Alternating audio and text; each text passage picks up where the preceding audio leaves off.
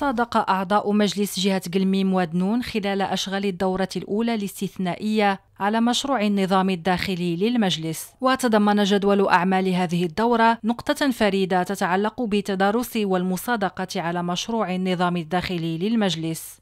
في إطار استكمال هياكل مجلس جهة قلميم ودنون آه، وبعد الدورة الأخيرة التي تم فيها انتخاب آه، الرئيس أو الرئيسة والمكتب الجديد للمجلس. آه، كان هناك اليوم عقدنا اليوم دورة استثنائية من أجل الدراسة والمصادقة على مشروع قانون أو نظام داخلي جديد للمجلس الذي يحدد كيفية تسيير المجلس وطريقة العمل وأيضا عدد اللجان الملزمة داخل المجلس. وسيتم عقد دورة ثانية استثنائية يوم الثالث عشر من شهر أكتوبر الجاري لانتخاب أعضاء اللجان السبع للمجلس. ستعقبها دورة ثالثة يوم الخامس والعشرين من نفس الشهر تخصص للدراسة والمصادقة على ميزانية المجلس لسنة 2022